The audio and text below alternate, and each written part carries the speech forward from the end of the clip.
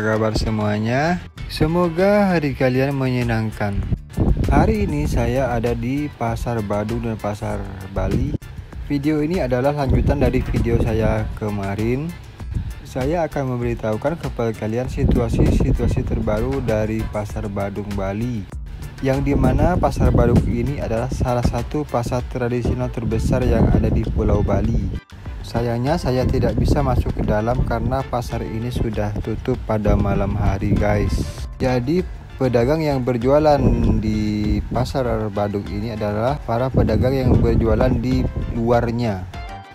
Pasar Badung ini terletak di Jalan Sulawesi nomor 1 Puri Dauh Kangin dan Pasar Bali.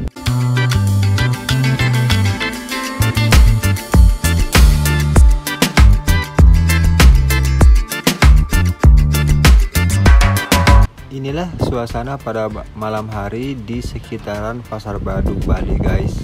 Di sini tersedia banyak sekali pedagang yang menjual kebutuhan sehari-hari seperti sayur, daging, ikan, buah, jajanan Bali dan tidak lupa juga para pedagang kali lima yang menjual beraneka masakan seperti bakso, nasi goreng, mie goreng, warung kopi, dan jajanan-jajanan khas Bali guys.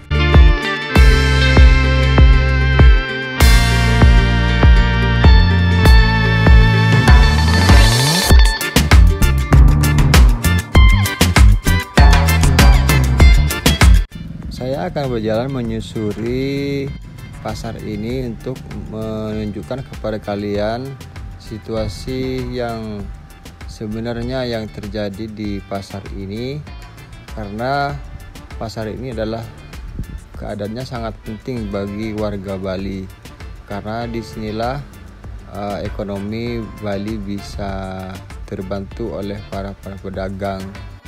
Ternyata setelah saya masuk ke dalam suasananya tambah ramai guys. Banyak sekali para pembeli datang ke tempat ini untuk berbelanja.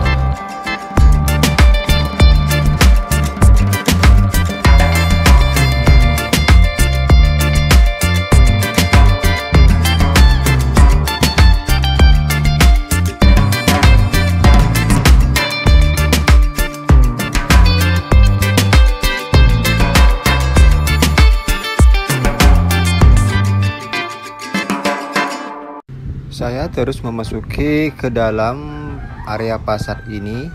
Saya akan melihat lebih jauh lagi situasi di sekitar pasar Badung.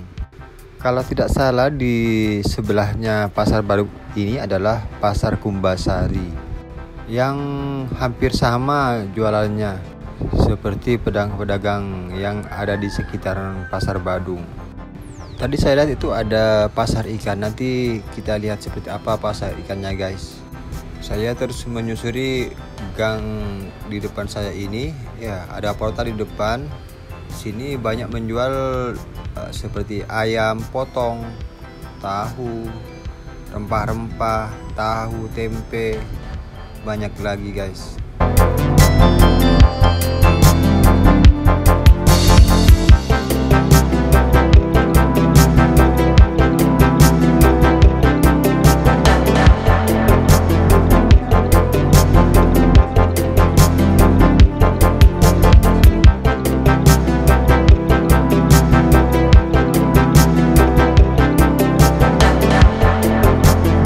Saya berbalik arah karena saya akan mendatangi pasar ikan Kumbasari, guys.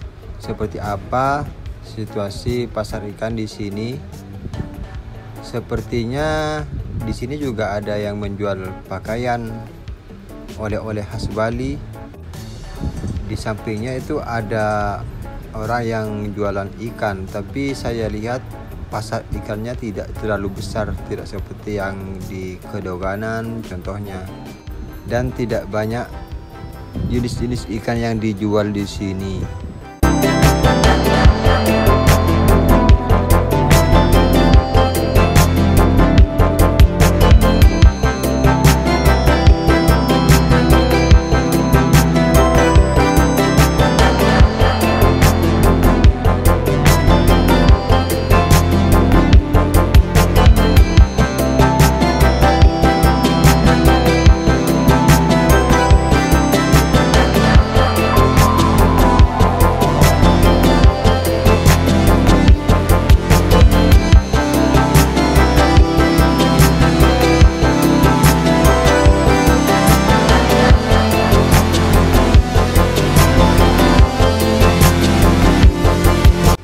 Setelah melihat pasar ikan di sini, saya mencoba keluar untuk melihat tempat-tempat lain di sekitaran pasar Kumbasari ini guys.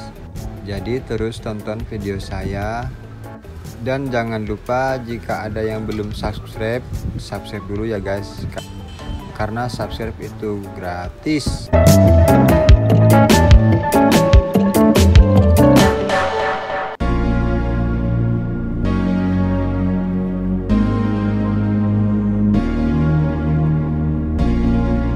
Semakin malam pasar ini semakin ramai guys. Anda bisa lihat sendiri kerumunan-kerumunan yang ada di pasar ini Tapi mereka tetap menjaga protokol kesehatan dengan cara memakai masker. Jika saya amati di sini banyak sekali pedagang yang menjual daging Seperti daging ayam, daging sapi, daging babi Dan lain-lain guys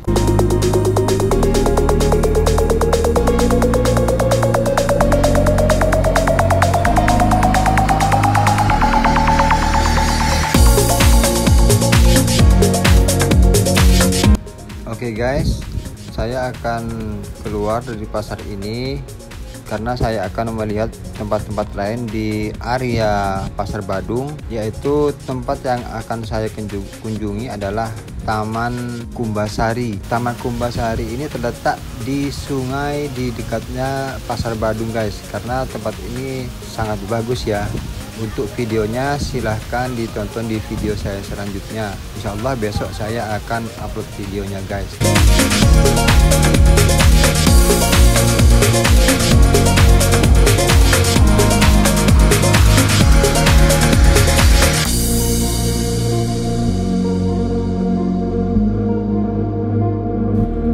Terima kasih guys sudah menonton video saya karena ini sudah malam dan saya akan pulang dulu karena saya menuju ke parkiran motor untuk mengambil sepeda motor saya guys. Ya sekali lagi terima kasih sudah menonton. Jangan lupa subscribe dan share video saya dan nyalakan lonceng notifikasinya agar anda tidak ketinggalan video dari saya